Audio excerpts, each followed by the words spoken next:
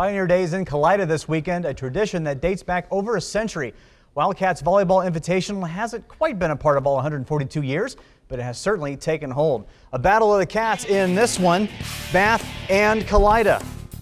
Taking a look at the first set. Crimson's Kylie Osterhag, the cross-court kill.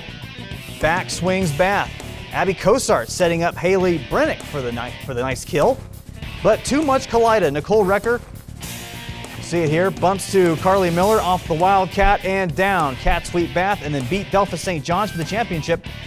Two sets, 29-27, 25-20. You can watch the entire Fairview Kenton match Sunday at 8 on WOSN. There's your score.